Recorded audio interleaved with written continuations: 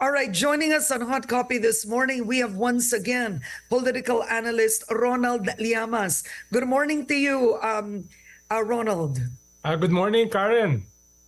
All right, from the last time I interviewed you on Head Start, we actually spoke about the word war. That was our th- that was the content of our discussion. A few months after, it seems to have gotten worse to a different level. I want to ask you first. We're seeing President Marcos Jr. He's more candid. There's more candor in his interviews. What are your thoughts on that? Yes, uh, the differences have scaled up. It has become more antagonistic, more fundamental, more dia- diametrically opposed since the last time we we talked here. Uh, ang pinag-usapan natin last time was the unraveling of the unity team which started last year. Nakafocus yung away dun sa uh, confidential at saka intelligence fund ni Vice President uh, Sara Duterte na sabi ng kanyang tatay ay uh, uh, dinidisrespect yung kanyang anak. No? Uh, at dun sa charter change. Yun yung uh, uh, issue last year na, na nakakreate ng uh, major division within the unity team. No? At yun ang pinag-usapan natin.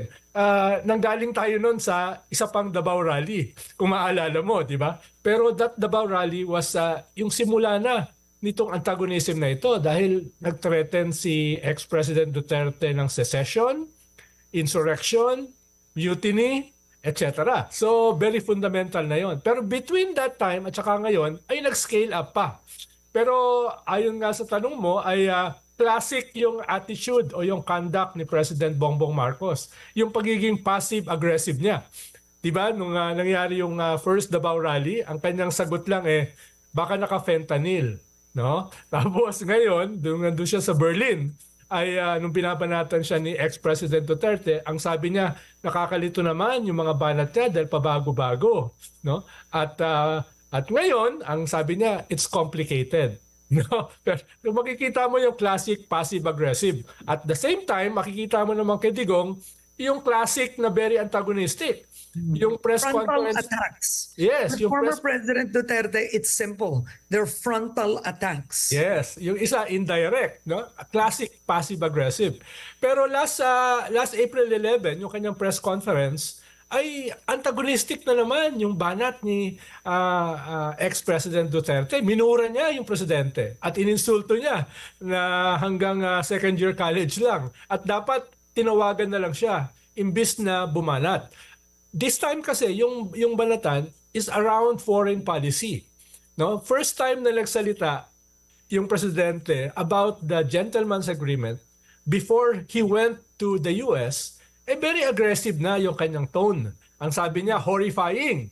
At practically, yung sinasabi niya, yung gumawa nitong secret at saka gentleman's agreement is treasonous na. No, mm. sabi niya, sinusuko na, kino-compromise na yung ating territorial integrity at yung ating soberenya. Kaya yun yung tingin ko yun yung pinaka uh, matinding banat. Kahit hindi niya binanggit yung gumawa ng gentleman's agreement, malinaw naman sa lahat kung sino yung kanyang pinapatamaan. Mm-hmm. Kaya yun yung nakikita natin uh, at this point. Uh, very fundamental, very antagonistic, at very diametrically opposed. Lalo na yung binanggit dun sa Davao Rally, itong second Davao Rally, ay withdrawal of support mm. uh, ni uh, Pantaleon Alvarez. At binuhay uli ni Vic Rodriguez yung, uh, yung pag-imply na yung presidente ay addict. Dahil ang call na naman niya, paano, paano mag, magbibigay ng utos ang presidente kung wala siyang drug test? No? Mm. Pero mas matindi yung sinabi ni Baste, ni Mayor Baste. Baka mangyari sa kanila yung nangyari sa Romanov at saka kay Mussolini. yung nangyari sa Romanov, ito yung hari at saka pamilya ng Russia before na bumagsak. Eh pinapatay yun eh. Diba? Hmm. Tapos si Mussolini binitay no nung World War II. So ito ay hindi na veiled threat no yung ginawa ni Baste. Kung pagsasama-sama mo yung mga speeches nung uh, Davao Rally, hindi ko na alam kung paano aayusin pa ito. Bagamat ang sabi lang ng presidente, it is complicated. Okay. All right. Now what's what's interesting about this actually is the fact that it's way too early in the president's term. This usually happens on the fifth year of a sitting president, where all his opponents, his enemies, come together and start to um, assassinate the character of the sitting president and his failures, right? This is when the president starts to be a lame duck. But yet you have President Marcos Jr., who frankly has more more problems to solve in the country. And he's actually fending off these insults coming from his predecessor, who, by the way, his enemies, uh, whose enemies have all banded together. At one point, Pantaleon Alvarez was not speaking with Duterte. Now they're in a press conference together, right? You have Baste all together. They're, they're all in unison, all one voice. Just is this a real threat to the president? Yes, uh, Karen. Uh, dalawa yung dahilan kung bakit nag-scale up ito o bakit nag-unravel. Una ay wala namang masyadong malalim na unity. Eh. Unity was a slogan, but there was no platform, there was no vision, there was no principles. No, uh, I doubt even if there's friendship. Yes, Hindi sila yes. nagsama ng matagal eh. Oo. Ikalawa ay and napa- no shared values. Yes, right? exactly. Because in some some some parties they may not be that long, but you're right. There's a friendship and some shared values. Yes. Ikalawa ay napaaga yung usapin ng ah, next presidential election ng 2028 as early as 2022 no Ah, yung lahat ng mga reklamo ng kanilang mga allies ng presidential sister ni Gloria Macapagal Arroyo ni ah, Vice President Sara ay na-focus dun sa usapin ng 2028 election. Mukhang may promisa ang presidente na yung kanyang successor ay si Sara Duterte at mukhang as early as 2022, itong promisa na ito at the minimum ay pinagdudahan o isinuko na. Kaya napaaga yung away. No? But is that a fact? I mean, Ronald, do you have information on that? Is that solid sourcing that uh, President Marcos Jr. promised the presidency after his term to Sara Duterte? Well, uh, indirectly sinasabi niya, pinapakilala niya si Sara as the successor, no? Kung yung agreement na yan ay uh, solid is another thing, no? Pero definitely yung ganong klaseng uh, uh, promisa, no? Uh, kung yun man ay nangyari, ay nawala as early as 2022 dahil nagsimula na diyan yung issue ng Tambaluslos. The Tambaluslos incident uh, ha- defined the the recent uh, mga bakbakan since last year. At lalo yung naging uh, nag-scale up with the charter change proposal which hindi lost sa mga Duterte is an attempt para baguhin yung political system para hindi uh, para maging pabor dun sa dun sa pinsan si Speaker Romualdez. Yun yung tingin ng mga Duterte. Kaya nag napaaga yung uh, yung bakbakan. At ngayon nag-scale up na. All right. So th- the scaling up is is it, it takes it takes um both parties to scale something up, right, Ronald? So my question is, like you have President, former President Duterte saying, uh, uh, uh, slamming President Marcos Jr., calling him a crybaby. Now my question is, should President Marcos Jr. frankly be answering back or responding? because he's been responding. Like that crybaby um, statement, he responded in front of the press. If that were President Obama or any other US president, they would not even dignify these things. Which is better, to respond or to actually not dignify? Well, uh, dagdag dyan yung uh, Karen, yung nangyari sa Berlin. Nung uh, binanatan siya na siya ay uh, naglalamierda lang at nagbabakasyon, sinagot niya, pinakita niya yung kanyang schedule.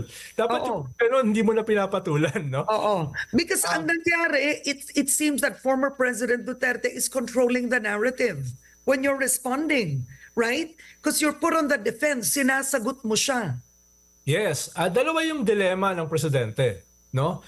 Yung mga banat sa kanya ay very fundamental na. Insurrection, uprising, sedition, even a hint of assassination.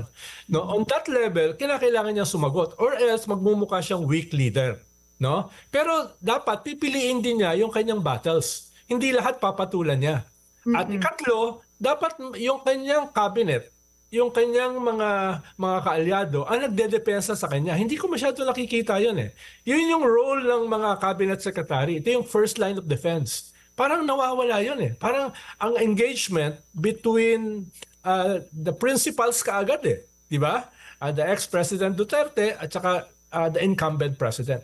So, uh, ang kaibahan, si Digong kasama yung kanyang allies. Bumabanat si Pantaleon Alvarez, bumabanat si Vic Rodriguez na dating executive secretary, bumabanat yung kanyang anak si Baste, si Baste, no? At indirectly bumabanat si Vice President. Kung maalala mo nung rally ng ng uh, ng sekta ni Kibuloy, Pumunta ron si uh, Vice President Sara Duterte. Eh, very clear yung sigaw do sa rally na yon. Pabagsakin si Bongbong Marcos. Wakasan yung kanyang pamumuno. Kaya indirectly, medyo medyo uncomfortable yung ganyung posisyon. Okay, ha? so why? I want to ask you this. I don't know if President Marcos Jr. is watching.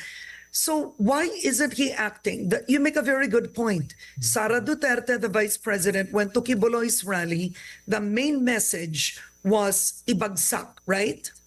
This, you know, during Duterte's time, when Lenny Robredo was suspected, right, of not being anti, of being anti-Duterte, I can't remember, but you can correct me. Yes. She was stripped of the housing uh, post. In other words, any threat around him, Duterte would eliminate immediately, including Lenny Robredo. They actually assassinated her in terms of character, reputation during his time. He would not let a threat actually increase by any fold, right?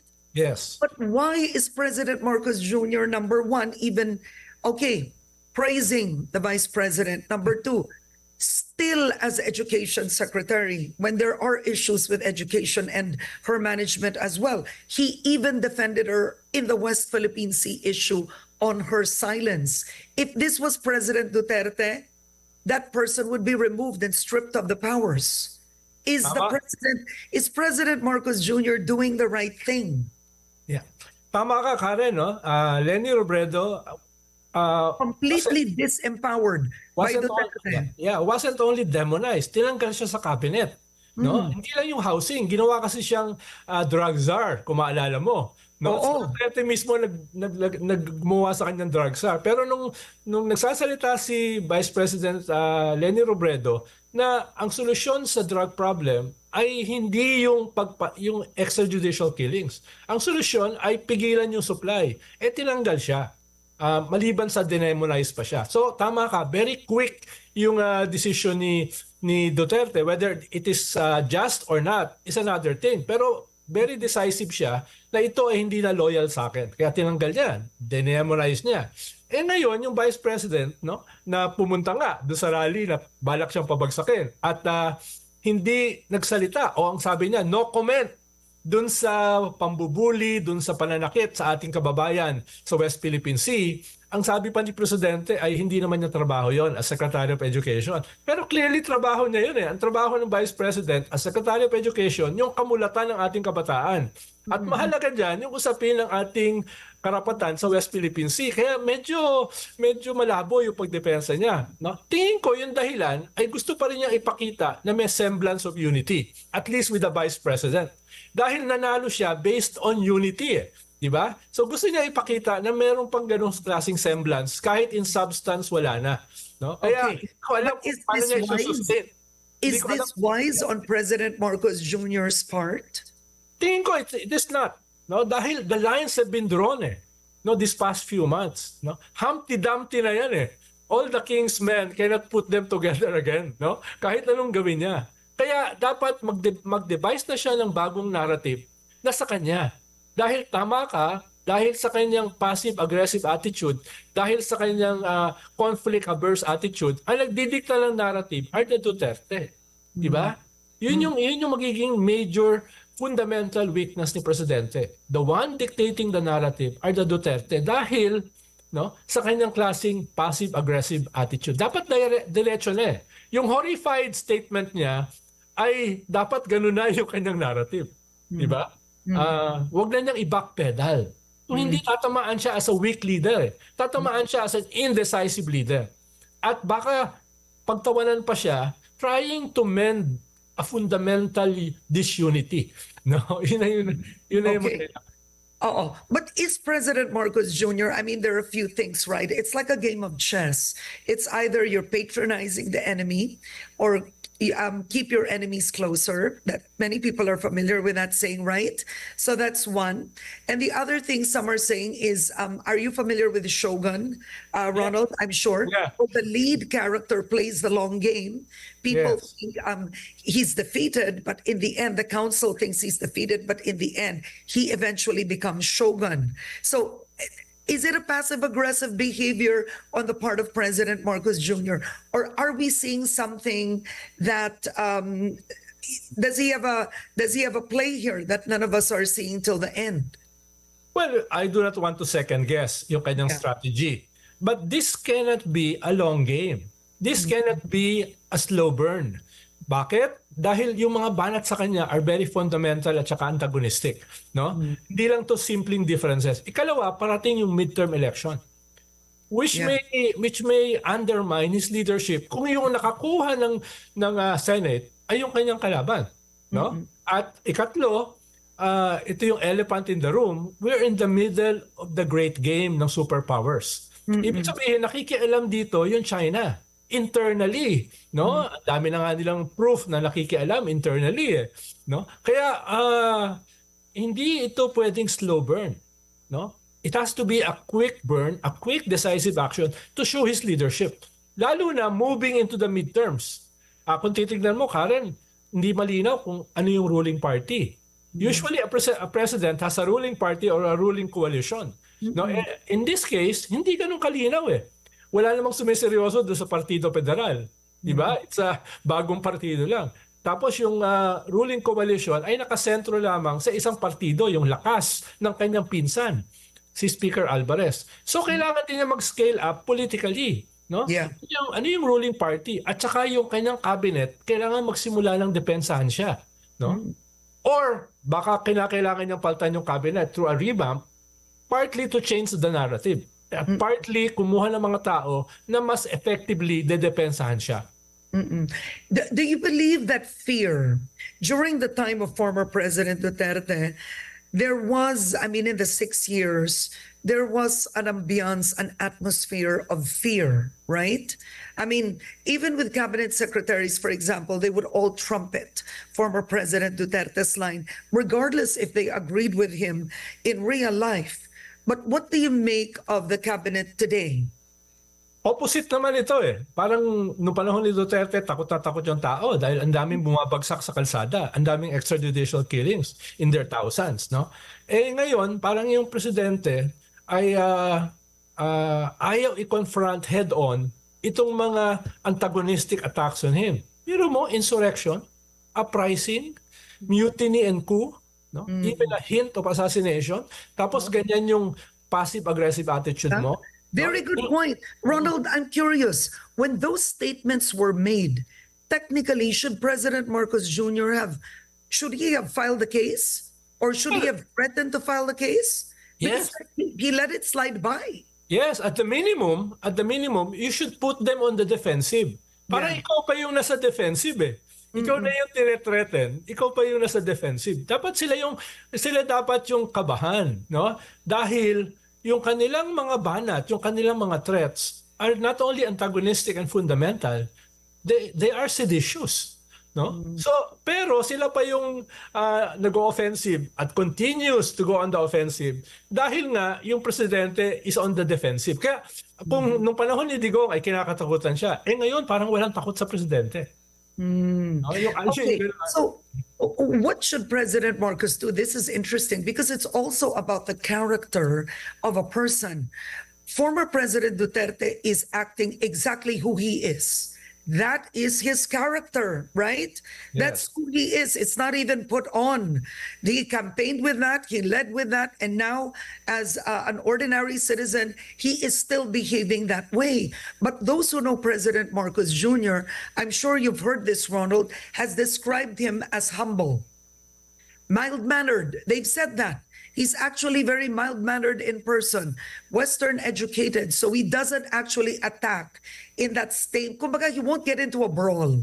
He won't get into a street brawl. Yes, yes. Paano yan, Ronald? Yes. Yung kalaban mo, yung kalaban mo, kaya mag-wrestling sa kalye eh. Yes, kaya nga, di ba nung interview niya kahapon sa FOCAP, yung tanong ay, ang maganda naman yung sagot niya.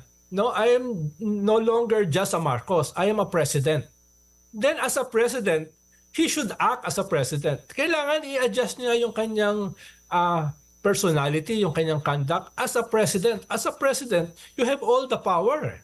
No? Eh ngayon nga, ah, napaka-weak na nung kanyang image. Ang banat pa sa kanya nung Davao Rally, authoritarian. Di ba? Yun yung banat sa kanya, authoritarian. Kaya dapat i-withdraw yung support. No? Pero yung opposite nga, yung kanyang attitude to to govern, no? To uh, to put on the defensive his enemies para ma-survive niya itong midterm going into 2028. Kailangan niya mag-scale up, kailangan niya magbago as president, no? Yeah. Sabi How- niya kahapon, he he's no longer up? just a Marcos, no? Ronald, this is interesting. How would you want him to see scale up? Because you've seen, you've had a long history of working and witnessing presidents, right? Yes. How would you scale up? You have former President Gloria Macapagal Arroyo, who wasn't very popular, but she did her thing, right? She had Yes. firm decisions. Um, in other words, she was, I I wouldn't say she had an iron fist. That's a bit too strong. But former President Gloria Macapagal Arroyo, um, she led her own way, regardless of popularity. And the irony is this president was extremely popular. Well, sabi ko nga kanina, uh, he should get his uh, house in order. Ibig okay. sabihin, ayusin niya yung ruling coalition. Dahil isa to sa magiging major defender niya going into the midterms. Ikalawa, ayusin niya yung kanyang cabinet.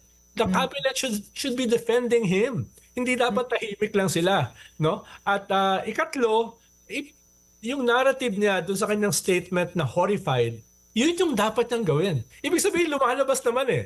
Horrified, this is uh, practically treason and betrayal, no? Uh, without directly saying it. So yun yung tono na dapat niyang i-scale up. At dapat niyang gamitin itong usapin ng West Philippine Sea dahil 90% ng populasyon ay pwede siyang suportahan. Galit sa China. At galit dun sa mga supporters ng China na clearly, yun yung ah, attitude ngayon ng mga Duterte at saka ng mga allies niya. So gamitin niya, i-weaponize niya itong issue ng West Philippine Sea against his enemies, which are the, clearly the Duterte. At okay. siya in terms of tone.